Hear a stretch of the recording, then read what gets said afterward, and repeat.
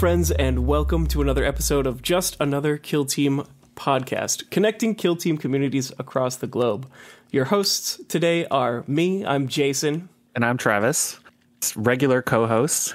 We connect with all sorts of different people, TOs, uh, competitive players, and just um, anyone else that has something interesting to say that they message us and convince us to talk about on an episode. Yeah, we do like making the world a little bit smaller, one hobbyist at a time. We do have a Discord and a Patreon, which is definitely some stuff that you should check out if you enjoy our content. And if you do enjoy this podcast, make sure to share it with your friends who play Kill Team, because the more the merrier. In today's episode, Travis and I talk with Jason and Adarian from Colorado. We talk a bit about Hearthkyn Salvagers as well as Hierotek Circle, and of course, there's going to be a little bit of Phobos that sneaks in here as well. Stay tuned for the conversation. True. We've got all the Jasons. It's not even the first time we've had multiple Jasons on here, if I remember correctly. You know, for any listeners who are just turn- tuning in right now, Jason is just coming off of the high of beating Micromancer, one of Command Point's, you know, big big names in the Command Point Discord as far as TTS tournaments go. Yes, I played my Phobos versus his Blooded, and it was bonkers. Yeah, for the so for our two Colorado guests, you know, Jason here just just took down Blooded on a TTS league, playing LVO maps, if I remember correctly. It was. It was uh the LVO map seven. Yeah, and you were just doinking him from you know every which way. He's hiding inside his deployment behind a heavy wall, trying not to get killed, and you were just absolutely demolishing him. Yeah, so real quick, if you want to hang with Horde teams playing elites, plan for Overwatch. Yeah. Yeah. Uh, you guys say it so mean- obviously, even though the the whole entire meta is like, ah, elites are bad because we just can't do enough. And Jason's out here like, you know, I'll just get shot, and then if you don't kill me, or after you shoot your plasma, someone else is going to Overwatch and kill you. I mean, three shots a turn from each model. Can't be mad about that. You're right. You're it's right. so straightforward, five head. To be fair, you know, Jason has been crushing it. At LVO, he went five, two, and two, and you know, just now I watched a little bit of a clip of his incursors just sniping out a poor blooded team. I think you were messaged me and you said in turn one you got five blooded for one incursor. yeah, so it was basically, I mean, bait out the plasma and then just start butchering everyone. Uh, really just turn the aggression up to 11, and that pretty much is the whole plan there. So, anyways, we've got Adarian and we've got Jason from Colorado today jumping in and joining the conversation. Darren, you want to give a little spiel about which team you'll be talking about today? So, I've been playing a lot of Hearthkyn Salvagers recently. Um, I see a lot of. I'm a very aggressive dwarf player. A good a good dwarf is a dead dwarf. Got to get those grudge tokens out. If Alright, if I have a dwarf that's alive doing nothing, it's useless. He's better off dead. all right. And then Jason, where do you what are we uh, coming to you to talk about today?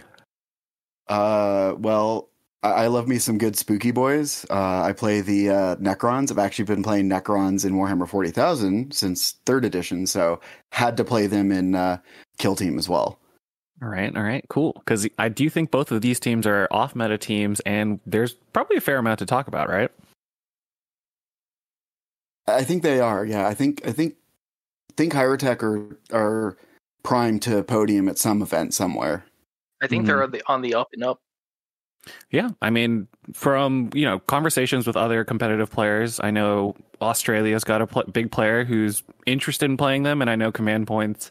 Shane, he's been on here like twice, and both times he was on here, he could not help but talk about Hierotek Circle for a fair number of the podcast. So I do think that there's definitely some juice in there, and I after writing the article for Goonhammer, I I also kind of want to play them. They're a fun team to play. I mean, they are really tough. Uh, you know, if you're chipping damage into them and you're not killing the operatives, and then you just leave them alone, they just come back and heal right back up again. And even when you think you've knocked them down, they'll just get right back up again. yeah. The, the worst the worst part of that team, it's a temporal nanomine. That thing is garbage. However, just walk through it. Don't be afraid. I mean, if you're a through it. dwarf, you can't go any slower than you're already going.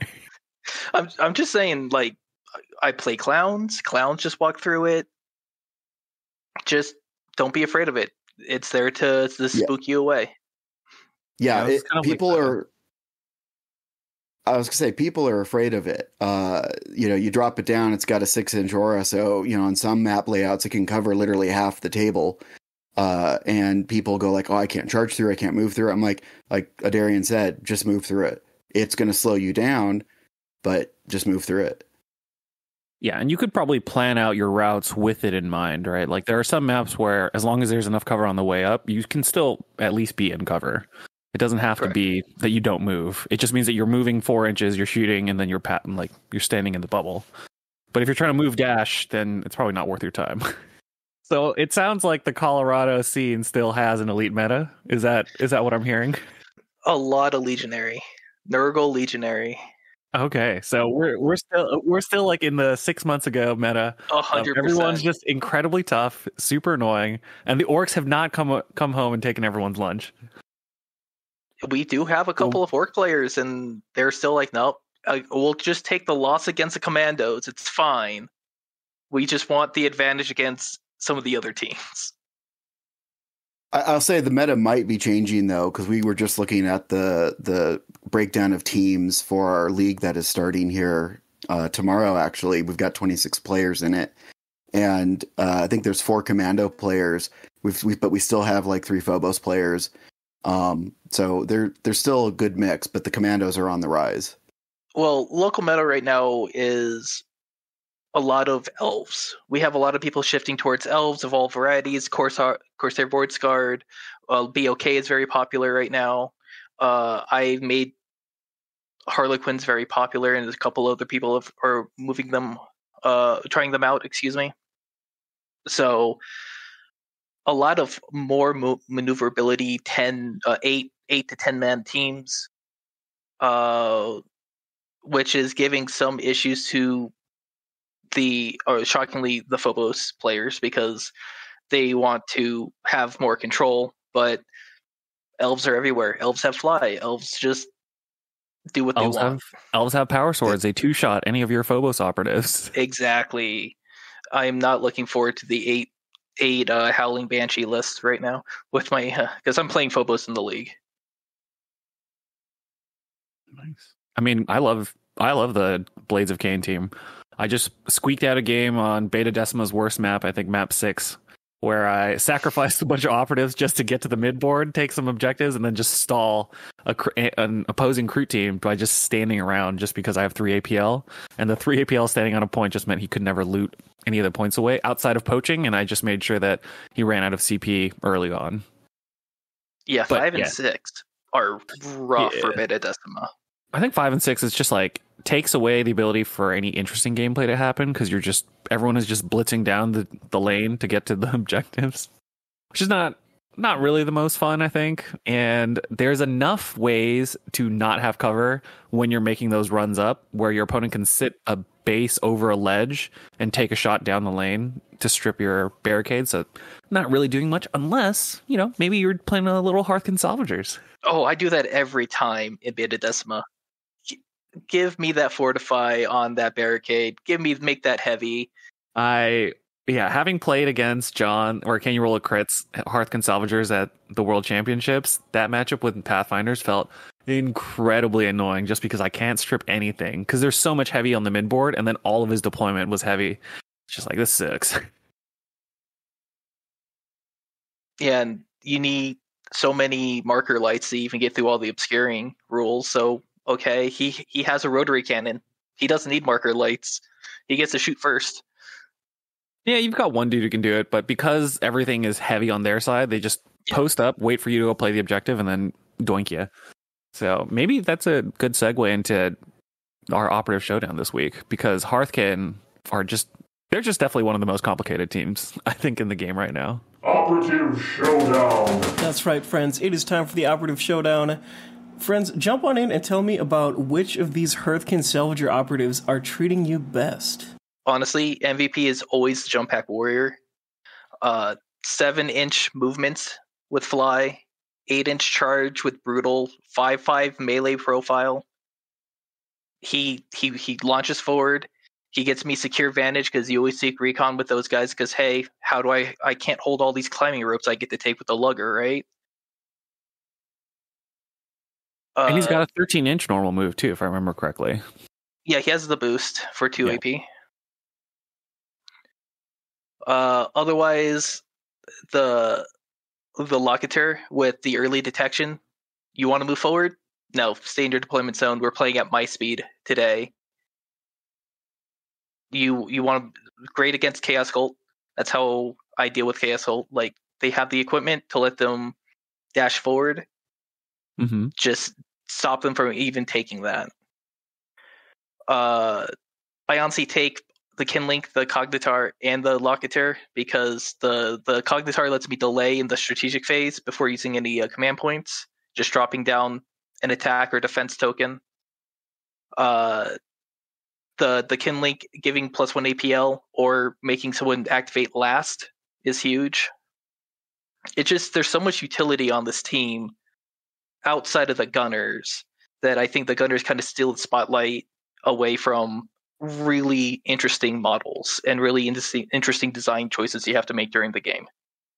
Punish people that try to be greedy on turn uh, at the end of turning point one to get the initiative on turn point two. Oh, they put an operative hanging out there, lock it down. He's now moving last. Ignore him for the entire turning point. Uh, the the utility grenade from the grenadier, I I actually underutilized that. Uh, a mini uh, temporal nanomine, uh, a range reduction on on on guns, and the ability to make mission actions cost one more. Yeah, he has a he has a big dynamite stick. I I preferred playing him with the control uh, utility grenade. Uh, the the grenadier has a utility grenade that you place within six inches of him, and if they're within three inches of that utility grenade token, uh, they must uh, one additional action point must be subtracted for them to perform mission actions and the pickup action, Mm, like terror. like terror. Ooh, this is like some secret tech I haven't really heard people talk about. Tell us more. That that grenade, you have to choose one of three profiles. One of them's like a mini temporal nanomine. Uh, one of them just goes, "Oh, you have a sniper up on that sniper nest." Well, now his range is only six inches. Mm, what are you going to do with him? Are you just going to keep him up there? Oh, you're gonna you're gonna put that incursor marksman up on conceal and wait for someone to come around. I'm going to throw a grenade on him. Now he's never going to be able to shoot anybody. And now that he's concealed, he loses his Overwatch opportunity. Double negative. Also, the th- the thing that I keep forgetting about the Grenadier is the four plus feel no pain that he has against Blast. against blast, splash, torrent, and mines. Just just run them into the incursor mine. Okay, I'll take half as half as much damage. I'm still gonna be there. I have eight wounds. Now you'd lost your mind for the game. It's no longer scary. Yeah, I mean the utility on the team is huge just because you are playing at such a deficit as far as movement goes. You know, we've had Ace here on the past talk about taking a bunch of plasma knives as a way to fix some of the deficiencies on the operatives. While at the New York Open, we had a player take a lot of ramparts and fortifies so that he could set up a mid-ground defensive line where he could move up safely and then ignore his own barricades and jump people at asymmetric ranges effectively. Because to get up and shoot people were too far away but for him to come out and shoot was very easy. So between those two strategies do you find that you play one of them more than the other or are you using your operatives kind of as a mix between the two because when i saw them played at the world championship with can you roll a crit he was definitely playing a lot more of the barricade play compared to the, the knife play I, like I said earlier, a good dwarf is a dead dwarf. I turn every turning point, you know, two on. I'm popping uh proximate, uh, yeah, proximate firepower to give me the plus one ballistic skill. I'm going to be six inches away from you. I'm not good in melee, but you're going to be out in the open if you charge me, and I'm going to have a benefit for shooting you. And hmm. now that I'm hitting on threes instead of fours, which is the honestly the weakest part of the team. They hit on fours. Hitting on threes now, letting me use grudge tokens to get you know a hit and a, a- crit in two hits, two crits in a hit, makes it so that these the gunners because AP two two AP two guns are going to kill somebody at a sacrifice of oh my lugger that already did a job by running up grabbing the objective and giving out climbing ropes to everybody during the uh, equipment phase. He's done his job. He can die, give me a grudge token, get somebody in the open, a key player, especially great against elites. And now, oh, the the legionary is now dead because he decided to get too close to that lugger and try to kill him. It does kind of remind me of how Jason ran, describes his LVO games, where he sends five assault intercessors out to go do things and force people out of hiding, and then he just Mhm. has one guy with a gun in the back, just reaching out and touching people. Yes. And you have three guys with guns. You got three gunners, two of them with AP2, one of them with six dice. So Darian, With- do you do you find like one of your Hearthkyn salvagers tends to overperform, or do all three gunners kind of put in equal amounts of work, or is it really like the AP two gun is picking up a lot of a lot of kills throughout the course of a game? Uh, the Magna Rail Rifle, because the ancestors are watching, it's no longer unwieldy at that point. Move, dash, AP2, Mortal Wounds 3. You, you're you're you're bonking somebody out of the game. Uh, when I was against shooty teams, I kind of I sometimes take the field medic. It's a three five lethal five plus plasma knife. It is, Get a and, grudge token, stab somebody. and really when you're getting shot at, the medics do a lot of work as being another comms model effectively because you're getting back an APL that your opponent isn't expecting if you can bait it out correctly or you set up the positional play for the medic, and that's really where medics are useful in shooting matchups. And sometimes you see the medic next to the target. The medic's on conceal. The they're, what they want to see a shoot is on engage, but the medic's there, so they don't take the shot because oh, he's just going to live anyway. So they're going to make suboptimal plays. It's the game. Game's all about action point economy. Make sure that your actions are more impactful than theirs.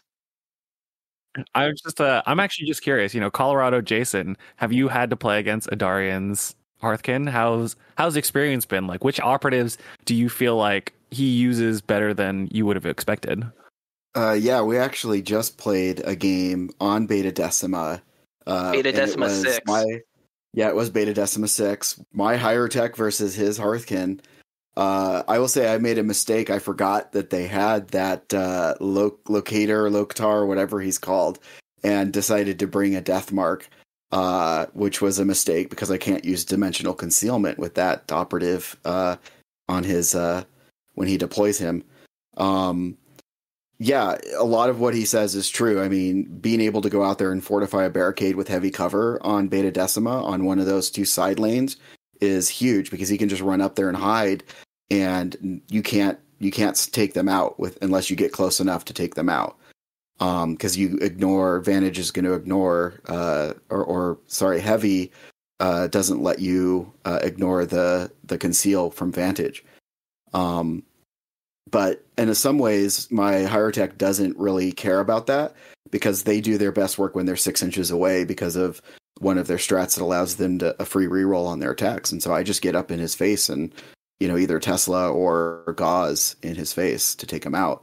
Um, but I would say a lot of what he was saying about baiting out my guys, yeah, you have to go on engage to shoot, and now he's got targets to shoot back, and he's putting grudge tokens on you because you're killing his operatives um, and then it just makes him so much easier to to kill my operatives. So Yeah, and all the Don Gunners, pretty much, except for some of the, you know, the medic and the uh, jump pack guy, have the P1 weapon. That's basically AP1 with grudge tokens there. So yeah, and there's something to be said for taking uh, weapons that do crits against elites, especially when they have high armor saves.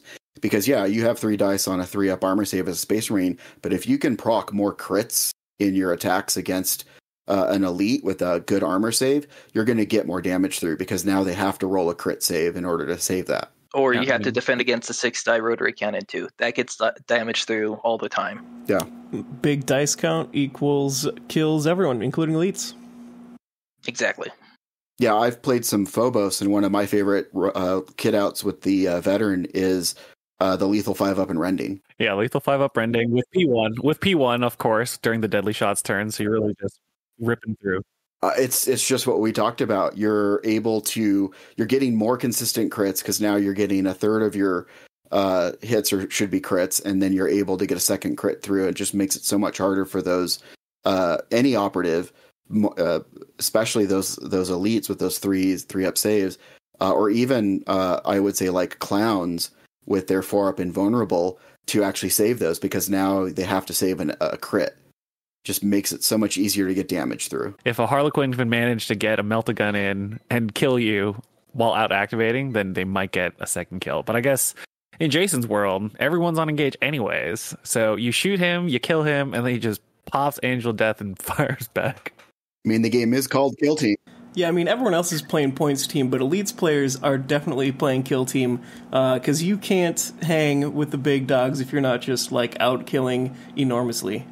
This is this is also how you know the best placing intercession player at the world championship talked about playing intercession squad at the world championships, where basically he was playing kill team and not points team because you really can't play the points game because everyone else is out activating you. So you really got to make your stat block someone else's problem, which you know sounds like it is still working. Yeah, if you want to hear more about that, that's the episode with Julio and Sawyer. Um, sometime in season one, you can jump back. It was like episode thirty something. Um, take a listen to that if it's something you're interested in. when it comes to so you know we talked a little bit about the Hierotek circle and Hearthkyn, but swinging back around to the Colorado scene, you know, how many shops are out in Colorado that you two are playing at? Because it sounds like the pair of you are doing a lot of the organization in Colorado. You want to tell us a little bit about kind of like the grassroots of the scene and how things have been going? Sure. Uh, so we, we kind of got started at there's a hobby town in Aurora, Colpar's Hobby Town. Uh, that's kind of our main uh, meetup place right there. We have a Saturday kill team. Um, but you know, when we started kind of building a community around Kill Team, we said we don't want to be just like one store. We want to be not just even the Denver area, but we want to be like uh, the entire Colorado area. Um, so we we've uh, actually gone to other stores. We we re- ran a tournament in December at Mythic Games. Uh, there's a new store opening up. Uh, is it Lakewood? Um, called Yep. Elysium Games. Um, that we're looking forward to because we know that that owner. Um, we've also gone up and played games at Total Escape Games. Um, and there's players oh, that- several. that play at like Wizard's Chest. We have six to ten game stores that are that we have a presence in basically. Right, we have- some player base. 70 plus uh, people in our Discord now. And that's, Yeah. I think, great growth because we started this last year. April of last year. So we're not even a full year old yet. No, yeah, we started it with like a handful of people. And we try to do some uh, long distance uh, collaborations. Uh, there's a great group down in uh, Colorado Springs, about an hour and a half south of here, of where the main group is. Uh, those guys are great. They ran they run a great tournament when we were there last. Uh, they've come up to play in ours. Uh, so we we're just trying to make the game as accessible as possible. Everything's very low stakes. There's no uh we don't want any like we want people to be competitive but not spiteful. Spitefully competitive here. So And so far, so good. Yeah. Uh, Honestly, yeah, we haven't had any any issues in any of the events we've run. We've run what four tournaments now. We try to do one every three months. Uh, Well, we've done we've done two tournaments. One, we're, we're starting our second league, um, so we've done three events. Um, yeah, and both all those events have been really well received by the community, and there's there's yeah not been any kind of drama. Like uh, Adarian said, it's very low stakes. There are some prizes, but it's you know it's not big cash prizes or anything like that. Um, you know, it's just some trophies and some gift cards. Um, so it's not like people are coming in for you know big uh, big prize packages or things like that, and you get you know your super sweaty player or anything like that. And what we focus on is you know be the opponent that you want to play against. Um, so you know be a good opponent, be a good sportsman. Um, you know play your games. Uh, uh, you know without being sweaty.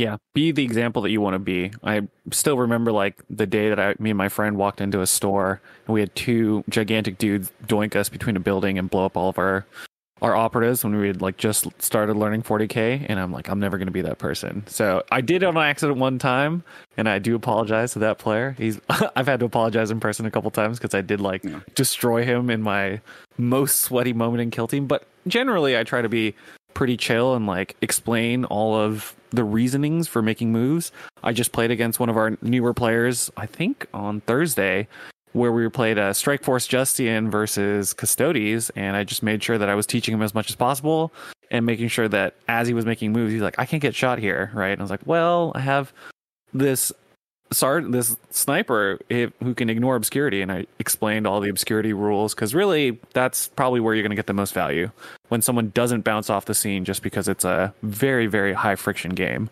as far as like building a new scene. Definitely. Uh, you were you were playing uh, Strike Force Justine in that game. I was playing Justine. I was playing Justine against uh, four Custodes, just so that because that was I. There was a monthly tournament that I went to that I had to skip out on the second round, and that opponent was the person I was supposed to play, but I couldn't. I couldn't make it because it was uh, Lunar New Year, basically. So I said I would make it up. We made it up on Thursday. You know, really making sure that he had the full welcoming experience as best I could. And uh, you know, he set up his custody sergeant behind a box, and he thought that he was in cover. And I was like, "Well, my on a diagonal map, if I'm all the way out on the other side, I can definitely draw line of sight, and I can definitely ignore obscurity, and I can definitely doink you." So just move back around. Thankfully, Kill Team has very little gotchas, so it's a very for a skirmish game. Uh, at least in my experience, I play. Uh, I have played a huge gambit of skirmish games. Uh, the worst gotcha is the novitiate's blinding, uh, blinding aura, in my opinion. Uh, but realistically, every it, it is a game of of blinds. Keep your toesies behind cover. Keep your toe tucked directly in the quarter inch of cover at all times. And how many players are playing out in Colorado right now? It sounds like you've got you two have a couple of shops that you guys are rotating through. Is the player base, you know, 15 players, 20 players, 30 players, or you know, much more than that? What do you guys we have a sense been on? maxing out our 16 man tournaments every time.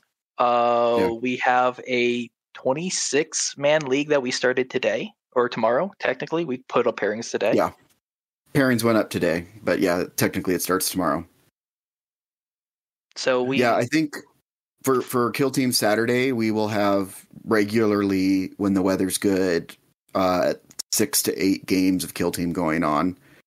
You know, um, these are just pickup games. People showing up either to get a game or people are re- prearranging it on the Discord uh, before they show up.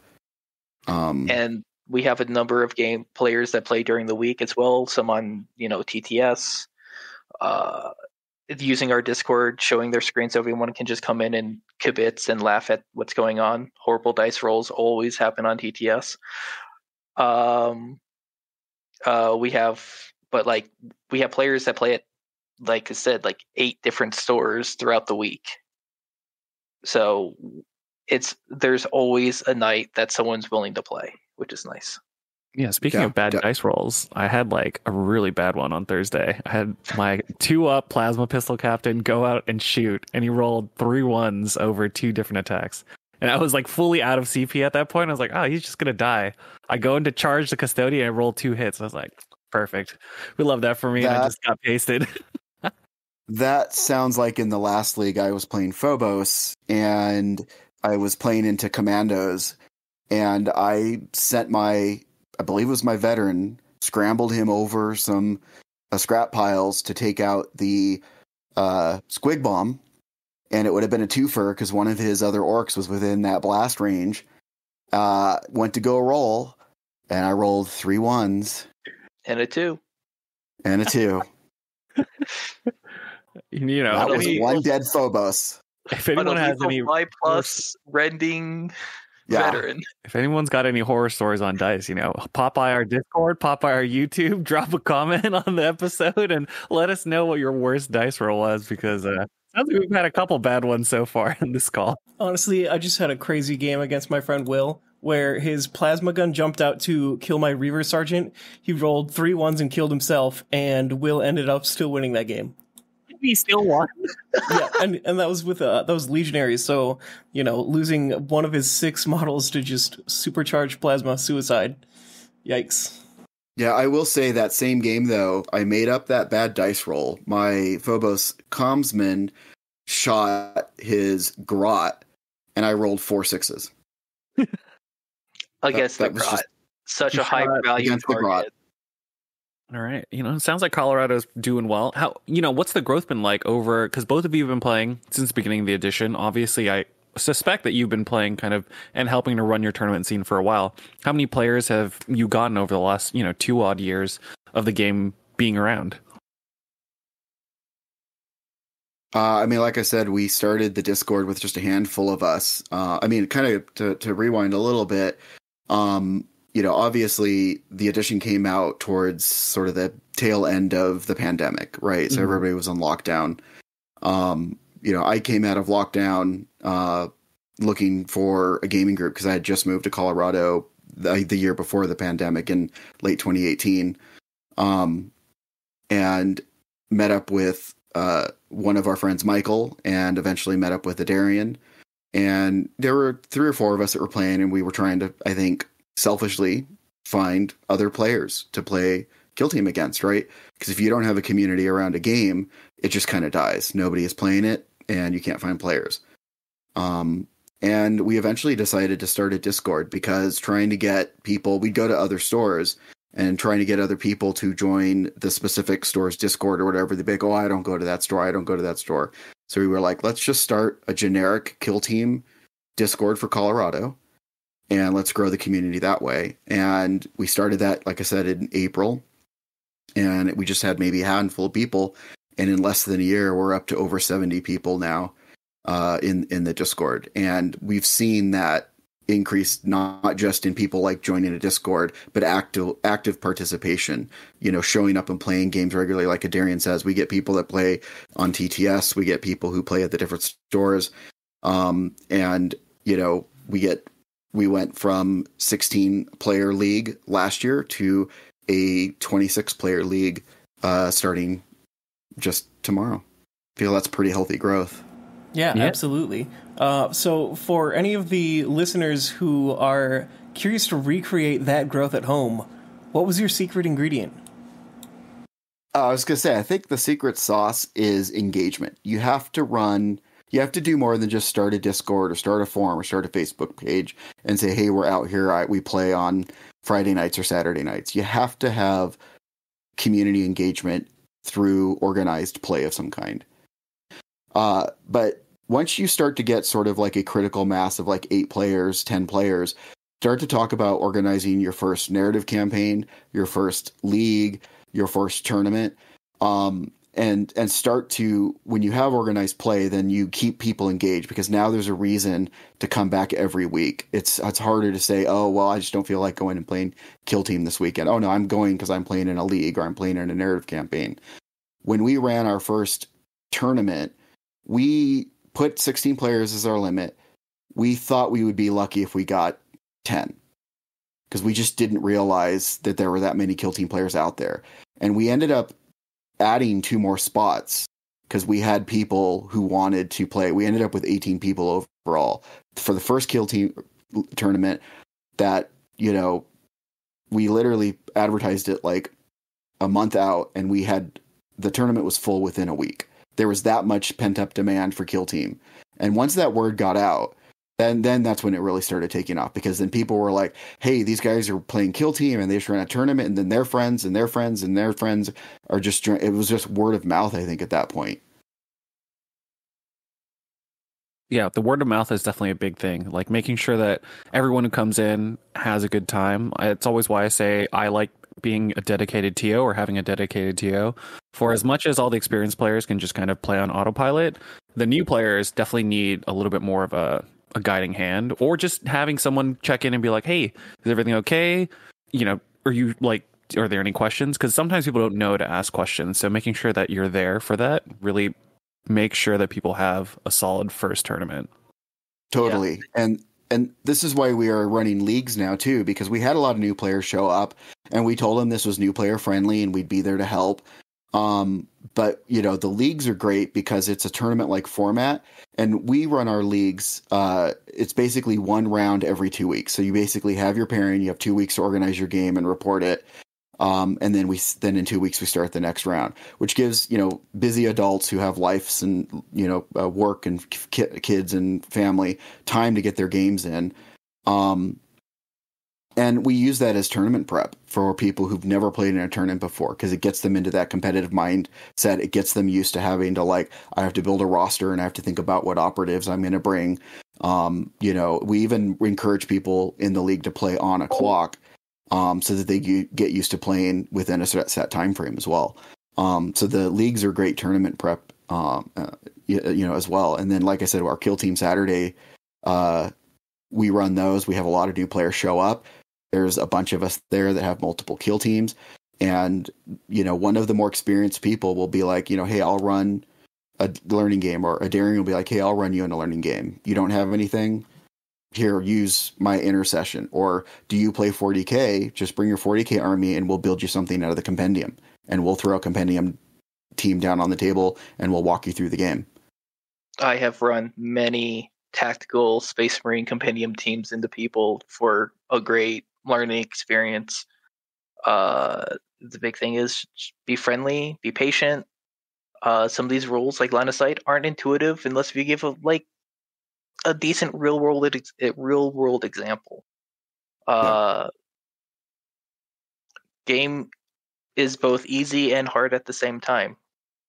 So it's it's got a, like a, a low skill floor, like you can get in on it pretty easy. But then as you start to learn the game, uh, you realize there's a lot of different interactions, even just within the core rules. And sometimes it can take a while for a player to click and, and get into that mindset.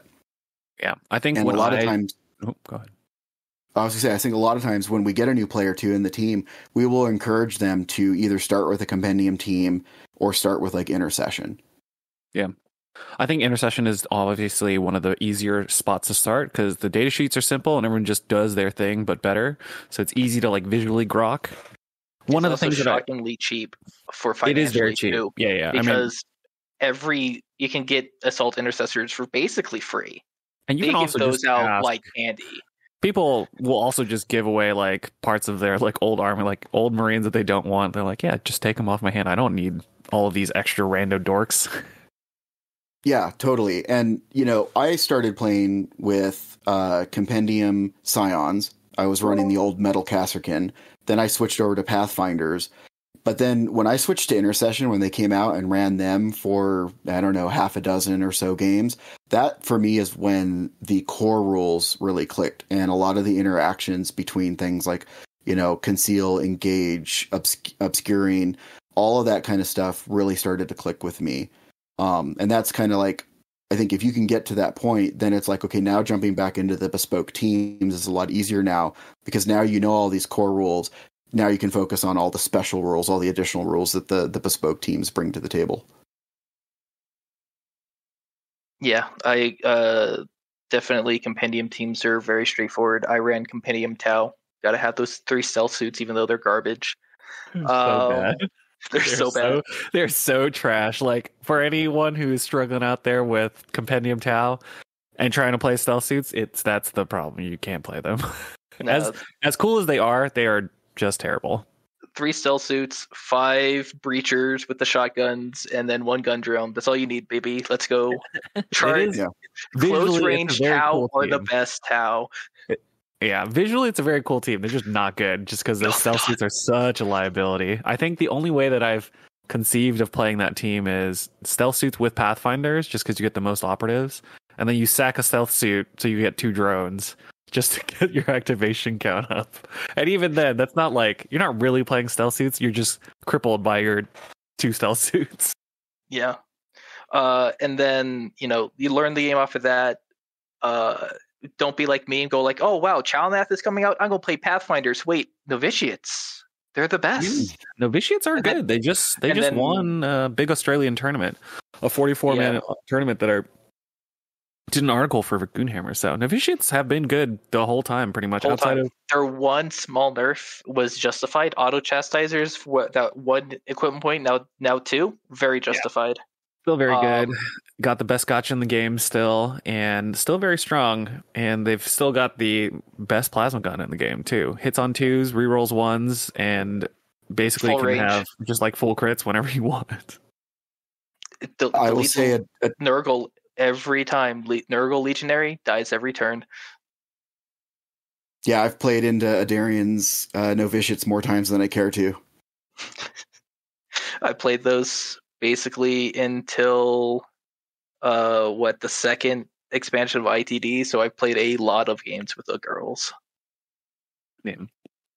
Uh, the second, the second team, the second box that came out, that was Hierotek Circle, right? That's this week's niche tactics, right, Jason? Yeah, yeah, it was.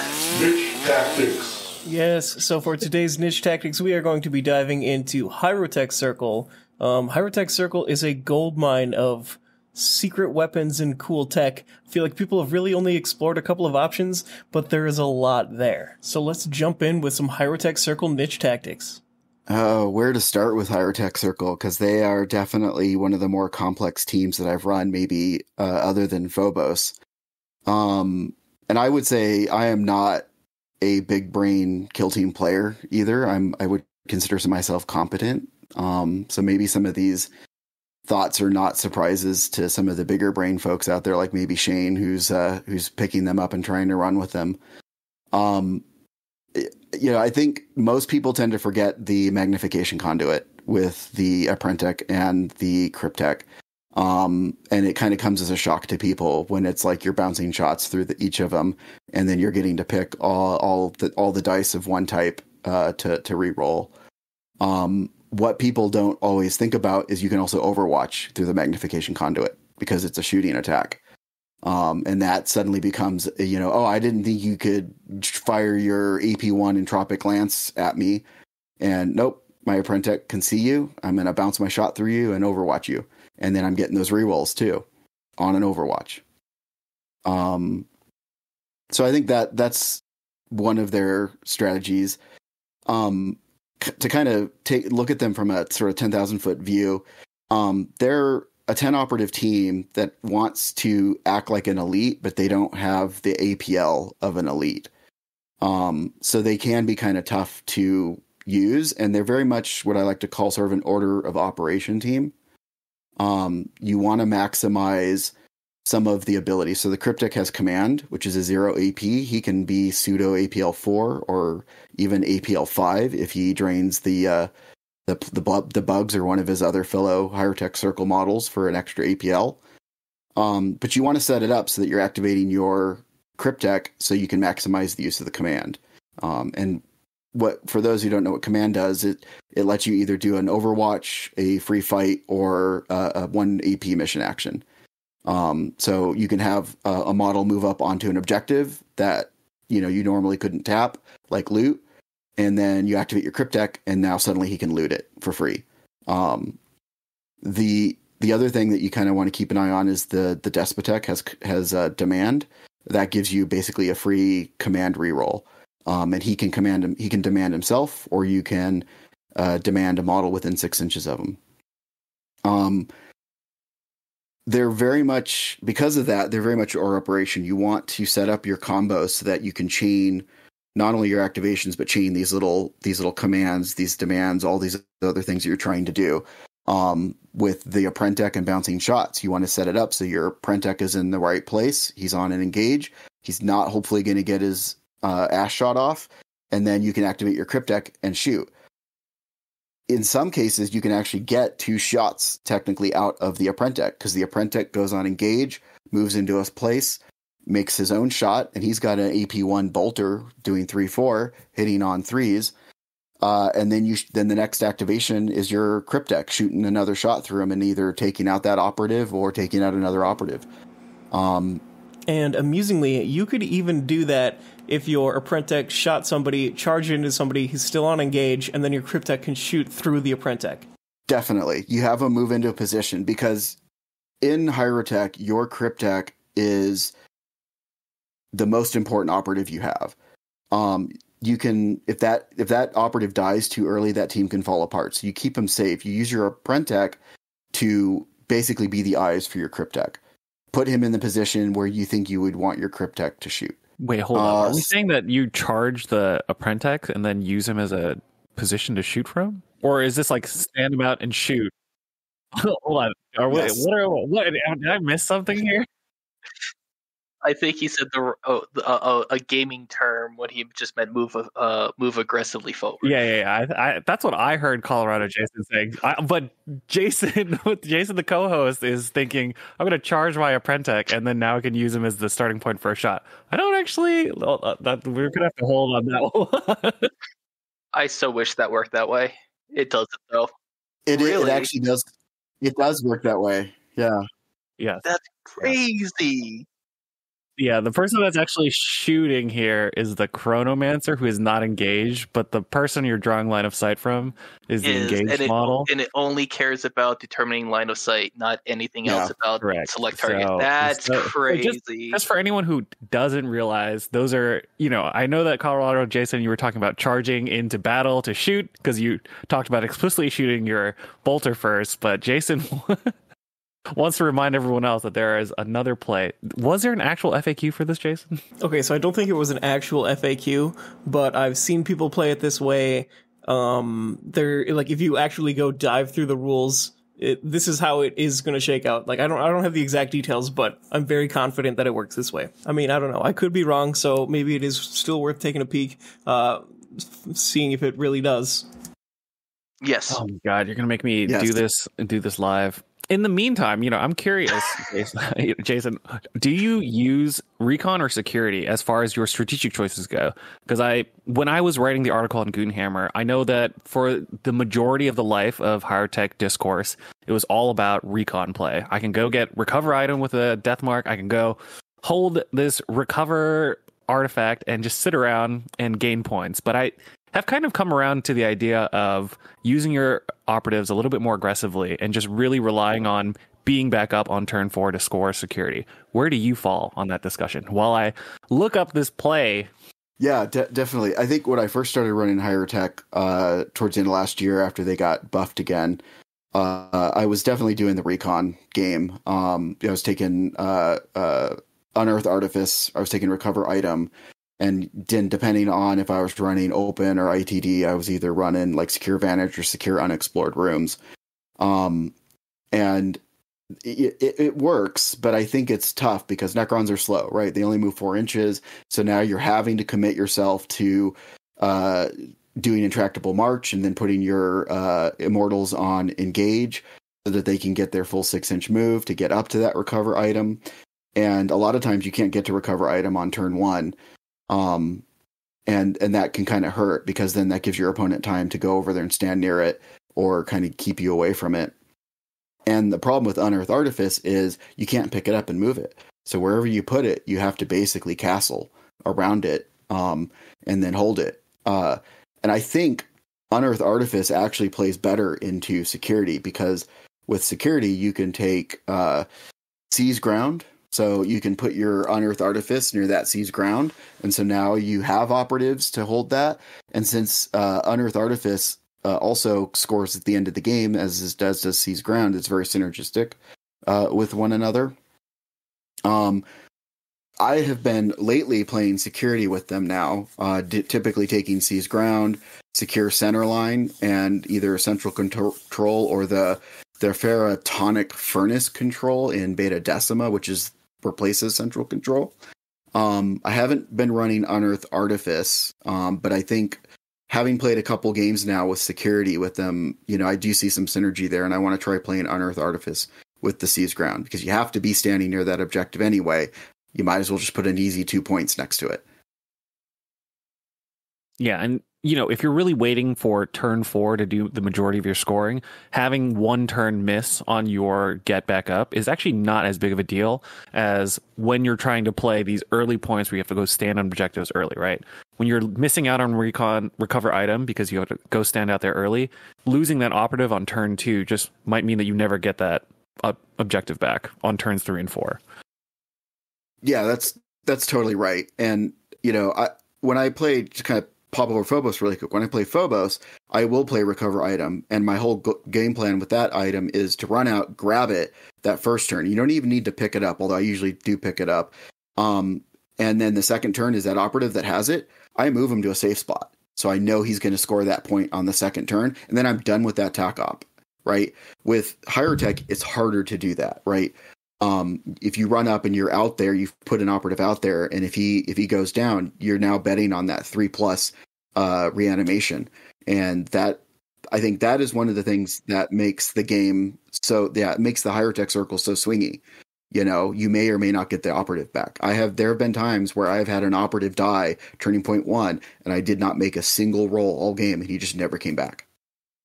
Yeah, so making sure that you can hedge your bets on when those things come back up, that's probably that does help mitigate some of the feels bad. Because if your goal is to have a dominating position at the end of the game, doesn't matter if you get up on turn two or turn three, as long as you get up by turn four.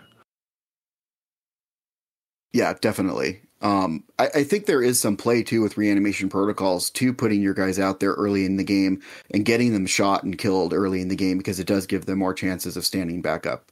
And it's also if you can get your opponent to react to those first early pieces and you can return fire those guys. Those guys that you kill, they stay dead forever. But you've right. now got three turns to get back up. So you're really abusing that arbitrage of uh, opportunity. Yeah, definitely. And and with the new the new buffs that with reanimation protocols, you're you're gonna get up and you're not gonna be injured. And so as long as that operative can stay alive, that's that's the key thing is you you because of the way initiative works in the game, obviously it's not a set thing. You roll dice. And uh, you you want to have enough pressure so that that operative that just got up, a you can reset that token up within three inches of where the the operative went down, right? So you want to make sure that you can put him behind a barricade, behind a wall, someplace where you can put him up on a conceal. Um, and then you want to have some pressure so that that your opponent can't just shoot that operative that just got up with maybe six or seven wounds as an easy kill you know he's got some other operative maybe who's full health that he has to deal with that gives that that operative that just got up a chance to do something. Yeah and you know just to circle back to that original question from the chaos chaos legionary phobos player over here i do think that it does work. You can charge an Apprentek into someone and then use your Apprentek's eyeballs to shoot out of combat because there's nothing nothing that stops that because in select valid targets it talks about how you cannot shoot people that are in engagement range, but you are not, as long as you're not shooting the person in engagement range with your Apprentek, you are, I think you're free to go. Yeah, I've definitely put an order in at the shop to get the Hierotek Circle on the shelves, and I picked it up with the intent that if it doesn't sell in a week or two, I'll probably buy them just because I want to try them. Because after writing the Goonhammer Tactica, it, I do think that there's some layers of play that you know haven't really been talked about or have are still waiting to be discovered. Whether or not the eight operatives really does feel like something that is approachable over a long period of time, not hundred percent sure. But the idea of having just very tough dudes that just need to get up by turn four that seems doable. Whereas the recon stuff just does not seem to have panned out over a long period of time. Yeah, and in general, like I mentioned earlier, um, there's a lot still to solve with Hierotek Circle. So, listeners, join the Discord, join the conversation, and let us know your secrets as well. Yeah, definitely Hierotek. Uh, they are a challenge to solve, and I have been working on them for a while. But like I said, I'm not a big brain player. Um, I, am going to have to try charging the Apprentek and shooting uh, uh, as a target that uh, he's not engaged with or is not engaged because that seems like kind of a fun little uh, tactic to do because now you're tying up another operative when you've charged him. Um, so and you're getting that extra movement out of him. So I don't know, Jason. You your your thought process on ITD bringing the Psychomancer you know the one that no one ever brings is very valid you destroyed four girls in like two shots with it with that yeah, yeah. I, I have played with the psychomancer a little bit um i mean you know i think every, the, the the conventional wisdom right now is the chronomancer is basically the, the take all you know you bring him pretty much in every matchup um because the chronometron and the uh, countertemporal nanomine. Those are, and and then you just pick either entropic lance or aeon stave, depending on if you want blast or if you want the the AP. Um, but I do think that there's play for the psychomancer, um, especially on ITD. I mean, he's got a blast splash weapon, rolling five With dice. AP2. That's AP two, AP two. You know, it's only two two, but it's blast splash one. Um, and lethal on- five plus in ITD. le- So- yep, lethal five plus and ITD. And he has some objective play because he can make it harder for people to run up on like loot or secure and tap that objective because now he requires you to take to use an extra AP to do that. Yeah, I mean the Psychomancer, super cool model, super cool abilities, um, really unexplored in general, but there's there's a lot of good play there. Um, there's a friend of mine locally. His name is Ted. He's been playing the Psychomancer. He's been crushing it, and he is my hero. Uh, Psychomancer is a real champion. So, so since you're a, a Psychomancer champion, I think you know what powers do you like to see run? Because I think it's it's the one, and I forget what they are off the top of my head. Uh, uh it's it's uh, it's the uh, Harbinger Despair, which is the one that lets you make the the actions cost more within that token aura, right? And it's uh, big enough that you can just drop it onto an objective. Um, and then I think the other one that I see play is Conjure Trauma, where you can just pick an operative and say, no, you're injured. And most people tend to forget that it's not just minus one ballistic skill and weapon skill, but you lose two inches of movement when you're injured. Yeah, I definitely agree. Like those are uh, some of the standout powers. I'm not super familiar with the other ones. I just know that um, one of like Ted, who I mentioned earlier, uh, has been playing the Psychomancer, and he has been really bringing some heat there. He did very well at the. He did very well at your Open, right? At the Renegade Open in November. Yes, uh, he did really well on day one. Unfortunately, he was not able to make it to day two, but um, yeah, there's a lot of cool tricks there. Psychomancer's awesome. Yeah, because on on In the Dark, you can really think of the Psychomancer's gun as five attacks on threes, two three, lethal five, AP two, because that's effectively what it works at. Because whenever you get a crit, you're getting the splash damage. Anyone getting caught in the blast is probably just going to help doink everyone else down. So any of those horde teams, especially because on In the Dark, you effectively can do the four APL Legionary play of opening two doors and looking at your opponent's back line. So if they're really not paying attention, you will just delete every a trivial amount, an arbitrary amount of seven wound models, which is big game. Well, you know what? Tell us a little bit about any upcoming tournaments out in the Colorado area. You know, before we split for the night. You know, we've talked a lot about Phobos, surprisingly enough, on a Hierotek Circle Hearthkyn episode. But what's coming up in Colorado? Tell our fans and hopefully any maybe Colorado listeners who don't know you guys. Yeah, definitely. Uh, so we will we're planning another tournament either uh, late March or early April, uh, probably after Rocky Mountain Open. Um, and this this will coincide with the ending of our league. Um, this was probably going to be a 16 player tournament, but kind of as Darian had alluded to earlier, we're probably going to have to kick this up to 32, considering just how uh, quickly the the player base out here has has expanded. Um, and then we've been talking with Tacticon Denver uh, about running a two day 32 player kill team tournament in August at Tacticon. Um, so those are the two things right now I think that we have on our calendar. Uh, there'll probably be another smaller tournament or two uh, in there. We just haven't planned them out yet exactly when they're going to land.